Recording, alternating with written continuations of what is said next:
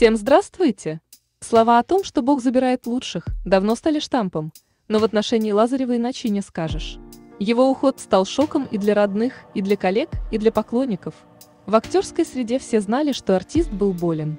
А Лазарев продолжал работать, для него не существовало ни выходных, ни отгулов.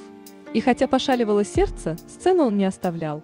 О коронарном шунтировании знали только самые близкие – Накануне событий кумир миллионов перенес плановую урологическую операцию, а после выписки родственники увезли его на дачу.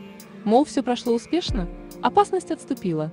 Первые погожие дни любимец публики наслаждался размеренной загородной жизнью.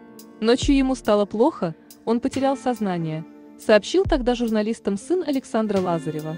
Мы вызвали скорую, но медики, увы, были уже бессильны. Врачи пока не установили точную причину, но предполагают, что у папы оторвался тромб. Последнее пристанище артиста на престижной актерской аллее Троекуровского.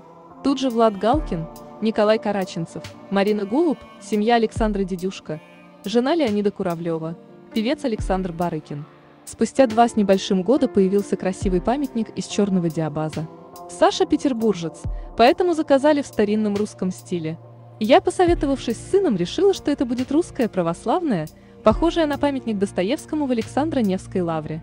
Помогали нам Союз театральных деятелей и театр имени Маяковского, рассказывала вдова артиста Светлана Немоляева. По словам работников Троекуровского, монумент Александра Сергеевича содержится в идеальном порядке. Вот уже 9 лет сюда не зарастает народная тропа.